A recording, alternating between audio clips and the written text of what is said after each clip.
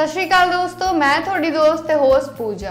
ਮੈਂ ਤੁਹਾਡਾ ਸਵਾਗਤ ਕਰਦੀ ਹਾਂ ਕਿੰਗ ਐਂਟਰਟੇਨਮੈਂਟ ਟੈਲੀਵਿਜ਼ਨ ਤੇ, ਜਿੱਥੇ ਤੁਹਾਨੂੰ ਮਿਲਣ ਵਾਲੀਆਂ ਨੇ ਬਾਲੀਵੁੱਡ ਤੇ ਪਾਲੀਵੁੱਡ ਨਾਲ ਜੁੜੀਆਂ ਹਰੇਕ ਲੇਟੈਸਟ ਅਪਡੇਟ ਜੇ ਤੁਸੀਂ ਸਾਡੇ ਚੈਨਲ ਤੇ ਨਵੇਂ ਹੋ ਤਾਂ ਪਹਿਲਾਂ ਸਾਡਾ ਚੈਨਲ ਸਬਸਕ੍ਰਾਈਬ ਕਰ ਲਓ ਤੇ ਨਾਲ ਹੀ ਦਿੱਤੇ ਬੈਲ ਆਈਕਨ ਨੂੰ ਪ੍ਰੈਸ ਕਰ ਲਓ, ਤਾਂ ਕਿ ਤੁਹਾਡੇ ਤੋਂ ਕੋਈ ਵੀ ਅਪਡੇਟ ਮਿਸ ਨਾ ਹੋ ਜਾਵੇ। ਹੁਣ ਤੁਹਾਨੂੰ ਲੈ ਕੇ ਚੱਲਦੇ ਹਾਂ ਅਪਡੇਟ ਵੱਲ।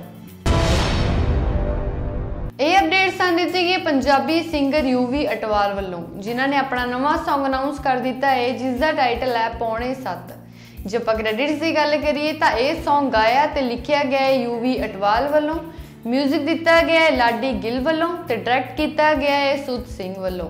ਤੇ ਇਸ Song ਨੂੰ ਪ੍ਰੋਡਿਊਸ ਕੀਤਾ ਗਿਆ ਹੈ ਕੇਸਰ ਸਿੰਘ ਵੱਲੋਂ।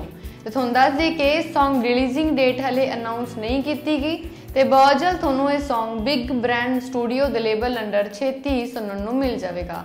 ਸੋ ਕਿਵੇਂ ਲੱਗੀ ਤੁਹਾਨੂੰ ਸਾਡੀ ਅੱਜ ਦੀ ਅਪਡੇਟ ਸਾਨੂੰ ਲਾਈਕ ਕਮੈਂਟ ਐਂਡ ਸ਼ੇਅਰ ਕਰਕੇ ਜਰੂਰ ਦੱਸੋ ਤੇ ਨਾਲ ਦੀ ਨਾਲ ਸਾਡਾ ਚੈਨਲ ਸਬਸਕ੍ਰਾਈਬ ਕਰ ਲਓ ਤਾਂ ਕਿ ਤੁਹਾਡੇ ਤੋਂ ਕੋਈ ਵੀ ਅਪਡੇਟ ਮਿਸ ਨਾ ਹੋ ਜਾਵੇ। Thanks for watching and keep sharing